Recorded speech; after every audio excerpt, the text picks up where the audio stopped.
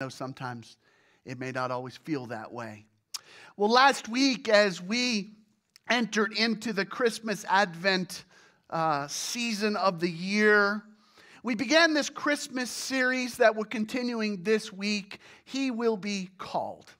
And as I told you last week, the, the foundation of this entire four week series is based upon an Old Testament Advent prophecy about Jesus' birth that was given some 700 years before Jesus would actually arrive on this earth for the purpose of being our Savior. We, we find this Advent Christmas promise in Isaiah chapter 9. This is the foundation of all that we're looking at over these next four weeks. In Isaiah 9, verse 6, it says, For to us a child is born to us a son is given, and the government will be on his shoulders. And he will be called Wonderful Counselor, Mighty God, Everlasting Father, Prince of Peace. He will be called Wonderful Counselor. That's what we talked about last week. And if you missed that message, you can watch it on our website or on our YouTube channel. He will be called Mighty God. That's what we're talking about today. And he will be called Everlasting Father, Prince of Peace. And that's, that's, what that's what's coming over the next couple of weeks. Now, there are many different ways that we can experience and witness just how mighty our God is. But perhaps there is none other that is greater than the natural world that is all around us. For example, in Australia, you will find one of the seven natural wonders of the world. It's the Great Barrier Reef. This is a picture of the Great Barrier Reef. Now, I've not actually been there before. Someday I hope to go. I'm curious, has anybody actually been to Australia and seen the Great Barrier Reef? Any world travelers here? No? All right. Our world is kind of small. Oh, is there somebody? All right, excellent. Wow, that's so cool. Yeah, I've not been to the Great Barrier Reef, but I understand that it is about 1,600 miles long, that it encompasses about 133,000 square feet, and that it is the only natural wonder of the world that can be seen from space, that it's that marvelous. And those who have been there say that the white sandy beaches and the crystal clear water is just absolutely amazing.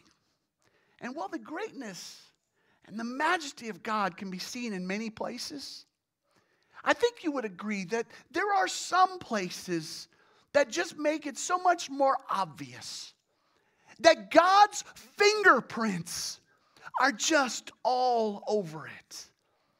Like me, most of us have not been to the Great Barrier Reef. But without a doubt, you've seen some things that make you say, wow. God, it looks like you might have just outdone yourself. Maybe it's sipping coffee on the beach while you're listening to the waves come rolling in. That's one of the things that I, I really love, actually. God has a sense of humor. He sent me to Kansas. hey, the ocean's only about, what, 10 hours away? I don't know, something. It's not close. That's okay. But it's a blessing. Or, or maybe it's for you just watching some amazing, majestic sunset. Or maybe it's out on a, on a dark night, away from the city lights, and you're just gazing at the stars in that clear, cloudless sky. Whatever it is, it's these moments that, that make you appreciate our Creator, the Creator of the universe. It's in those moments when we get a glimpse into just how mighty our God really is. And what I want us to understand today is that that's really what Christmas is about. Christmas is about celebrating the advent, the arrival, the coming of Jesus, our mighty God. And not only that he came into this world, but that one day he's returning and he's coming back. In the Old Testament, we find an Old Testament scripture in the prophet, prophetic book of Jeremiah. And we find this beautifully just crafted scripture that speaks of how great and how mighty God is. We find it in Jeremiah chapter 32, verse 17. It says, Ah, sovereign Lord, you have made the heavens and the earth by your great power and outstretched arm. Nothing is too hard for you. Ah, God, by your great power, nothing is too hard for you. You know, that word that we find here in Jeremiah 32 17, it begins our verse, ah. That's an interesting word right there.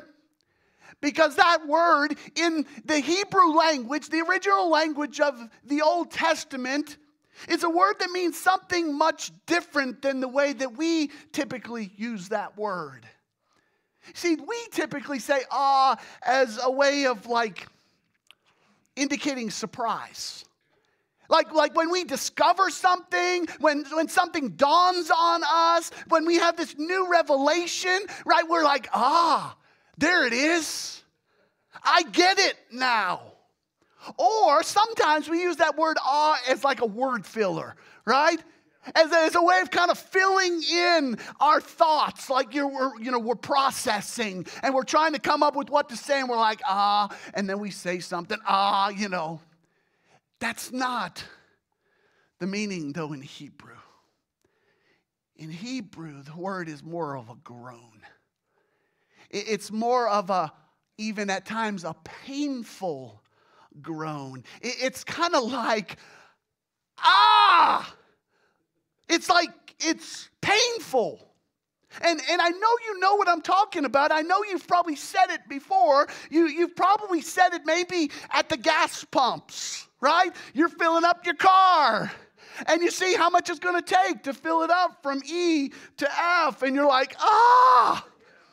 Or you're at the grocery store, right? And you're checking out and you see you see the painful effects of inflation, right? And how much it's costing for so little and you're like, "Ah, this this inflation stuff is painful."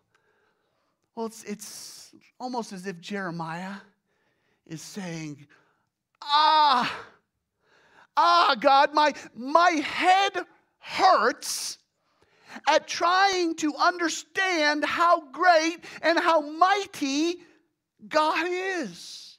My head just hurts. I can't wrap my head around His might, His power. I just can't do it. Now, there are three characteristics that are sometimes used to help us sort of understand how great and how mighty God is. But ultimately, these three characteristics, they really just make our head hurt more because we can't fully understand how mighty God is.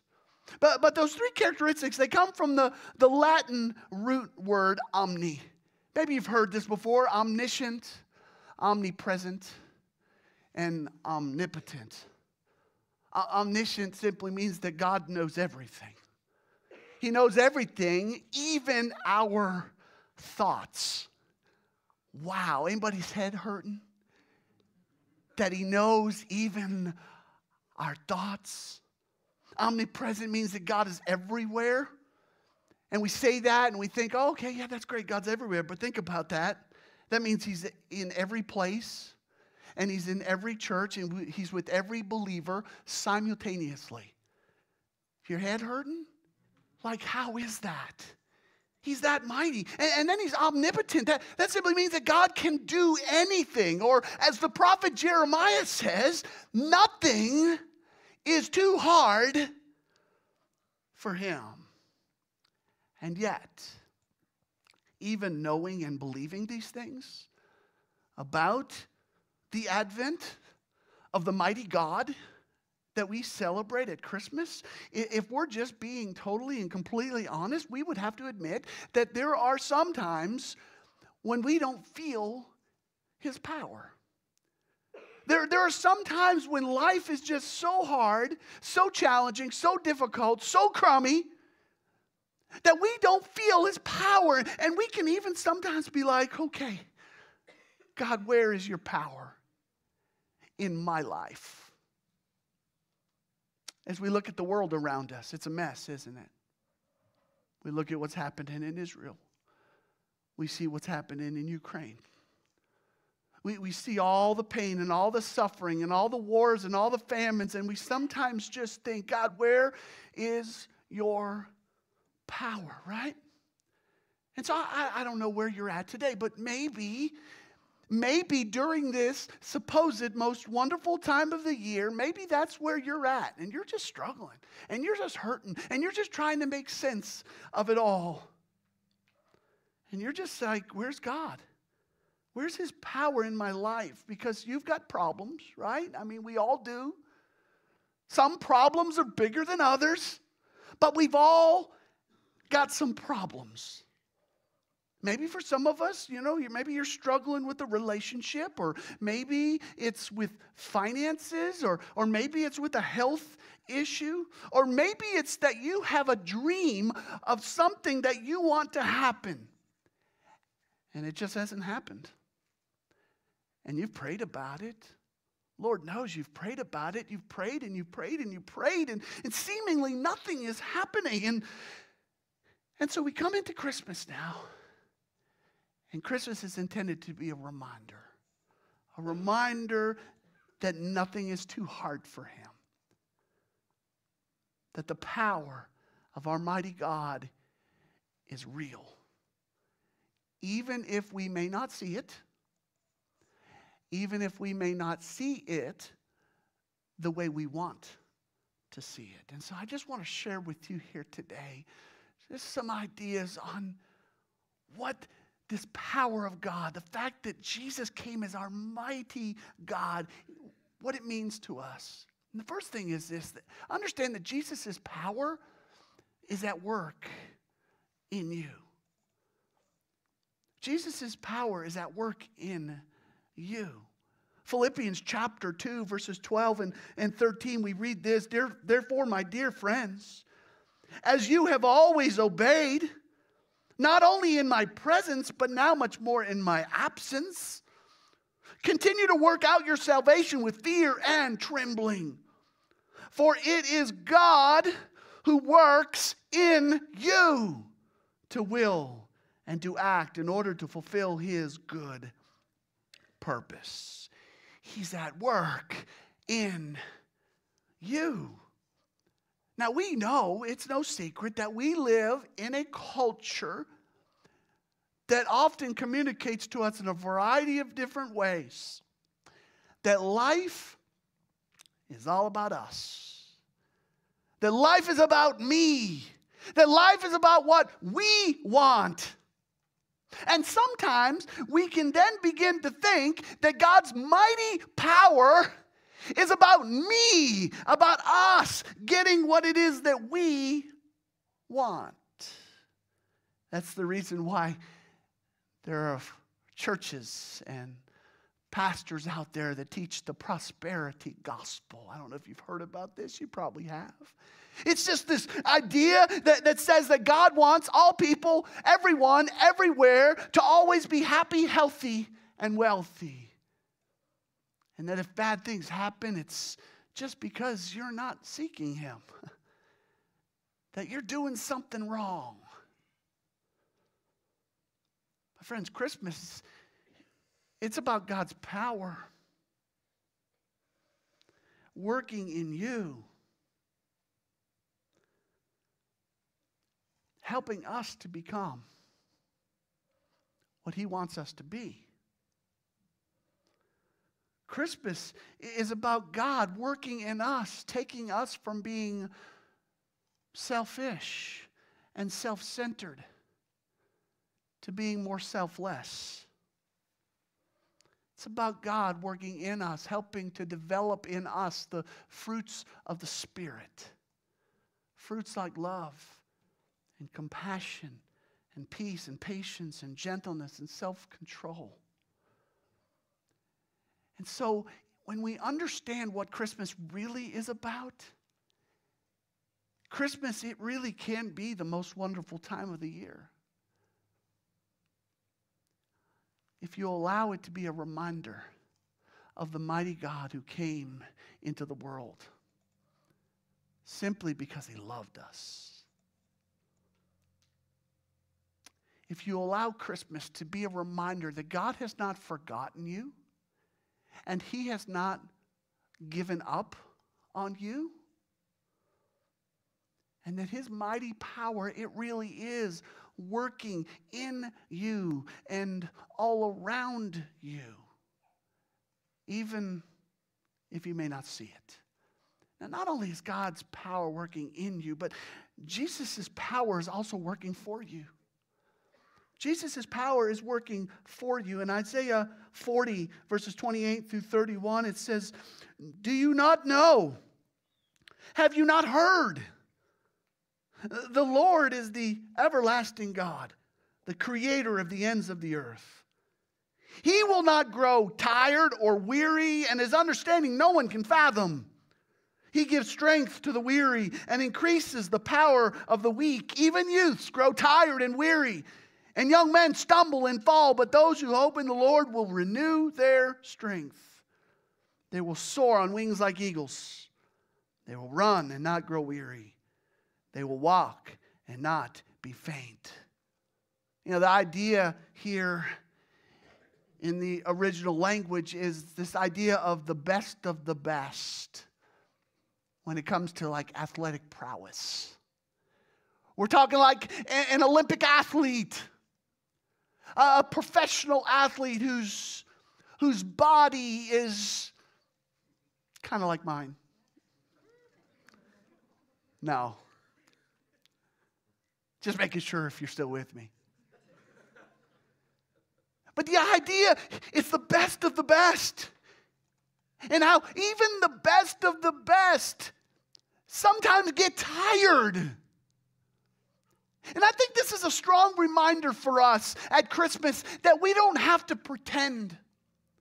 We, we don't have to just put on a face, a, a mask, and, and say everything's okay, everything's good and pretend that we have it all together.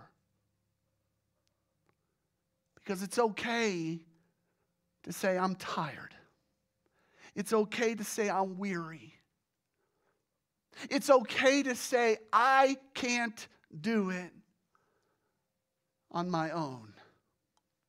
It's okay to do that because even the best of the best sometimes get tired. Let me ask you, friends where is your hope? Because the prophet makes it clear that those who hope in the Lord will find strength. In other words, if your hope is in what the world can offer, you're going to get tired, you're going to be weary, you're going to want to give up, you're going to be hopeless. If your hope is in the things that the world says Christmas is about, that's only going to carry you for so long. Where is your hope? Because Isaiah says, if your hope is in the Lord, if your hope is in the meaning of the Advent season, Christ coming into this world for you and I, people he loves, then you're going to be strengthened. Are things always going to be easy? No. But he's always going to be there to strengthen you, to lift you up, to hold you up to empower you. So, where's your hope? I know some of you, you're tired right now, right? Some of you, you are worn out and weary from a year that has just been utterly exhausting. Some of you, that's where you're at. You're worn out and tired from a year in which you've dealt with some intense challenges intense challenges that maybe you've never had to deal with before. Some intense challenges that you might have never thought you would ever have to deal with. And you're just tired and worn out and weary. And now Christmas comes, right? Christmas is here now. And, and you might be on one side of it, you know, excited that Christmas is here because in some ways it is the most wonderful time of the year. But in other ways, it just kind of amplifies what's already going on in your life. And, so you're excited about Christmas, but you're looking at Christmas and you're sort of maybe just overwhelmed about all that there is to do and all that the world says Christmas is about. Friends, the good news of Christmas, the good news of the gospel of Jesus Christ, is that there's power available. God's mighty power is available. God gives strength and He gives power to the weak and to the weary. And so, if that's where you are at right now, friends, you are right where God wants you to be. You're like, what? That doesn't make any sense. God wants me to weak, be weak and, and, and weary and, and powerless? No, He doesn't want you there. But, but when He has you there, He has you in a position to be able to turn to Him to be able to rely on Him, to be able to say, God, I can't do it, but you can with your mighty power working in me and working for me. I can do it. And so, if you're tired, if you're worn out, would you just turn to God? And we just just admit to God that you are tired and weary and weak? And let Him strengthen you? Would you just choose to depend on the power of our mighty God that was born into our world to be our rescue? Because it's often when we are at our weakest and our lowest that Jesus' power works most powerfully for us as he carries us along. One of the greatest men in the New Testament is the Apostle Paul. My guess is you've probably heard something about him.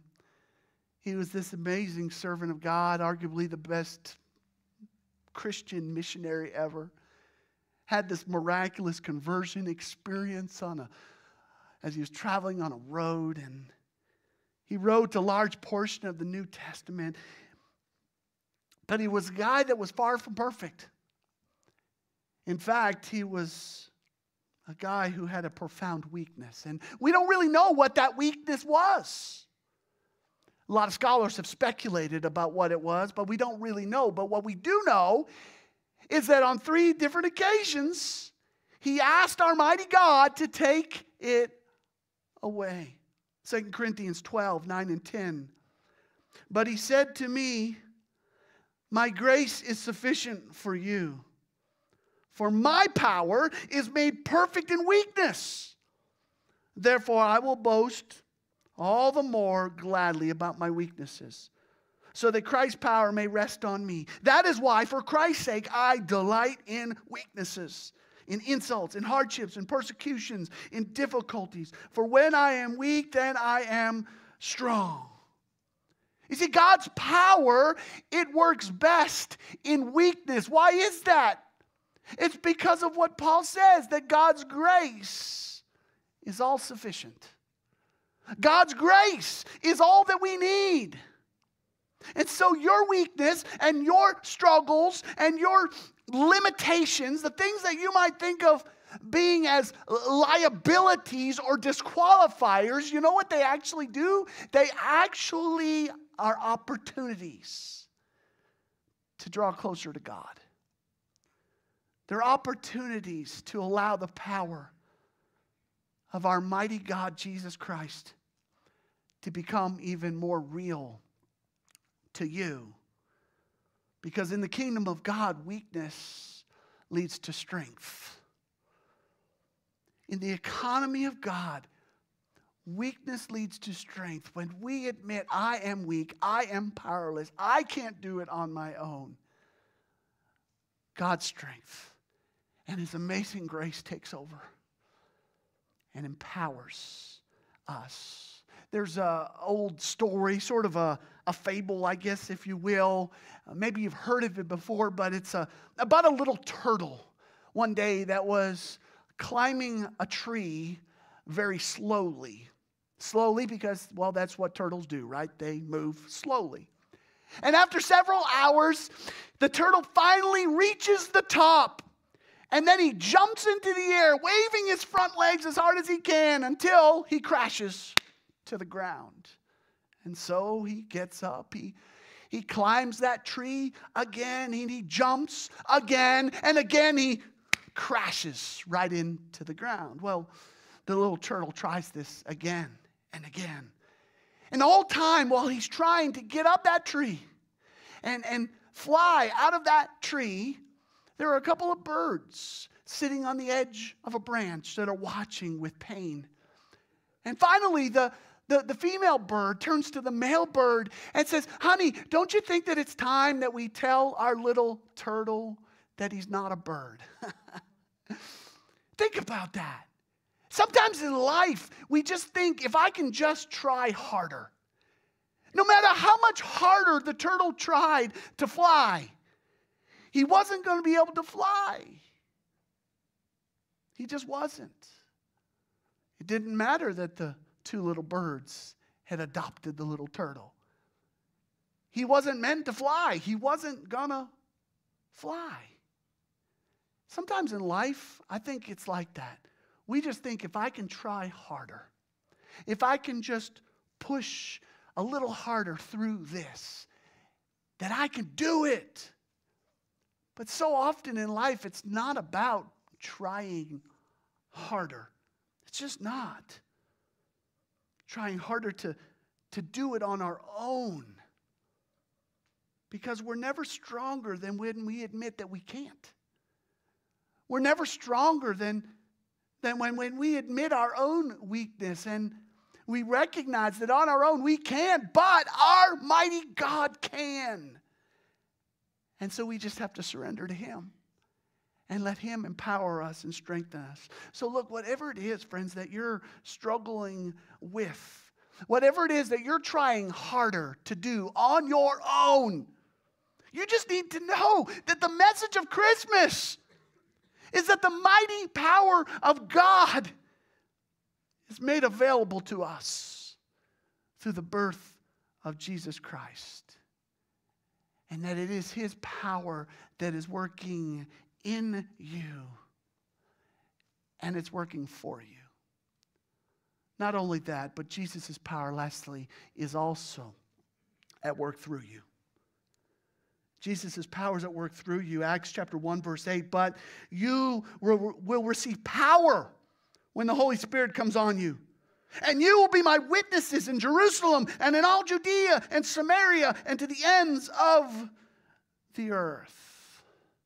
The advent of Christmas, the advent of Christ, it gives you a purpose. And it gives you a ministry that is bigger than yourself. Because if you have surrendered to and submitted to Him, then you have the mighty power of God in you. You see, that's what the Bible says.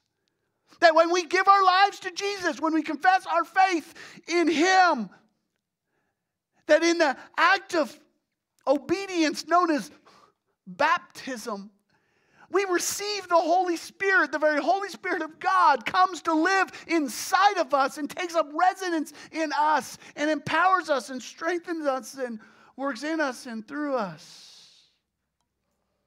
We have the mighty power of God in us. What a Christmas gift that is, friends. Now, I just want to tell you a little bit here about what the mighty power of God can do.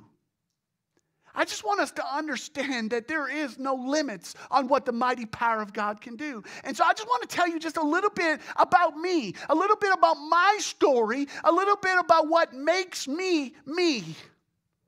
You see, what, what you don't know is that there is no human reason why I should be standing here before you today. None at all. And I'm not just talking about the fact that my family and I recently moved from Virginia to Kansas, to a state I'd never been to, state we had never lived in, to a state that we knew no one. I am saying there is no human reason why I should be standing here before you because there is a reason much deeper than that. It goes so much further back than that decision. You see, when, when I was young, I had such severe learning disabilities that doctors told my parents, and I, I, am not making this up, I am not exaggerating this. I know sometimes preachers sometimes exaggerate their stories. I am not exaggerating this in any way. When I was just a little kid, some doctors at a very well respected children's hospital told my parents that I would never be able to speak properly and now you can't shut me up. Not only did that, did they tell me, they tell my parents that I would never be able to speak properly, but they also said that I would never be able to do some very simple things that we sometimes take for granted, like ride a bike. I haven't done it in a while, but I can ride a bike. And even when, by God's mighty power, I was able to overcome those weaknesses. In junior high school, I was so shy that there was, I would rather do anything, anything, like even take a zero on an assignment, than get up in front of a group of people and talk. I hated it that much. I was so afraid of that. Friends, I stand before you today as evidence, as a testimony of the mighty power of Jesus Christ. And I know that some of us here today have similar stories. That you are here today, you are where you're at, you are doing what God has called you to do by the mighty power of Jesus Christ because that's the mighty God we worship. That's the mighty God that we celebrate his coming at Christmas time. And so, at the very heart of the Christmas story, friends, is this mighty God, okay? I get excited about this. I don't know. Anybody, anybody else excited? At the heart of Christmas is this mighty God who works in mighty ways through ordinary people. And I, I, think it's very interesting to find that the, the Greek word, the language of the, the New Testament for ordinary, is the word idiotes. Sound familiar? It's from where we get our word idiots. And so, biblically speaking, this isn't me saying it, okay? This is the Bible saying it. Biblically speaking, we are just a bunch of idiots. Sometimes we are, let's be honest. That is, we're a bunch of ordinary people. Just a bunch of ordinary people. But, friends, something extraordinary happens when ordinary people submit to the mighty power of a mighty God that is working in us to change us something extraordinary happens when ordinary people submit to the mighty God of the manger.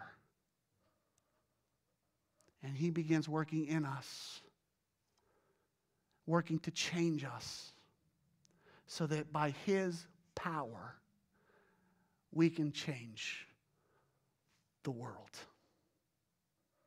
And so that's the challenge for us right now. That's what we need to commit to do to change the world by his mighty power.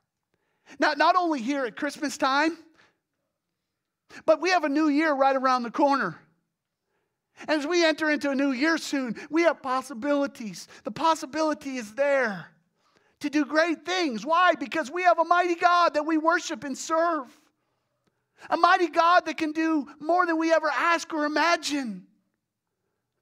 And so the challenge for us is to commit to living our lives in a way that showcases the mighty power of our great Savior. So, our worship team comes to lead us in a song of praise now to wrap up our service. Again, I want you to know that this is also a time of decision. If you have a decision to make, you're invited to come and to make that decision. And for most of us, the decision we need to make is to commit to living our lives in such a way that we are showcasing the mighty power of our God. But perhaps there's someone here today who has a different spiritual decision to make. And so, if that might be you, if, if you're sort of wrestling with God now about what you need to do with your life or the decision that you need to make, I want to ask you have you surrendered to and experienced the mighty power of the one who was born into this world so that you can be made strong. Have you? If you're thinking, I don't think I know him. If you're thinking, I've never really publicly confessed my faith in him, or I've never been baptized into him, if you've never made that decision for yourself, I invite you to come. I'll be up front over here as we sing and as we worship God. You can let me know on the uh, tear off card on your bulletin. You just fill that out. Just put a note on there that you have a decision that you'd like to talk about. I'd love to follow up with you. If you have a prayer request, you can put that prayer request on that tear off card as well and just drop it off in the offering box on your way out. You can talk to me out in the lobby. I'd love to talk with you. But whatever it is, whatever decision God is laying on your heart, don't put it off. Don't put it off. Would you pray with me?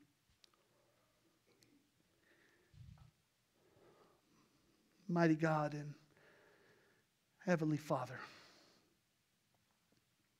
help us to see that Christmas is all about you. That this Advent season is all about you, a mighty God, working in us and working through ordinary people. And so, God, right now we just ask that you open our eyes and open our hearts to recognize that your power is real and that Jesus' power is available to us all who will call upon his name. And so it's in the name of the wonderful counselor and the mighty God, Jesus, that we pray. Amen.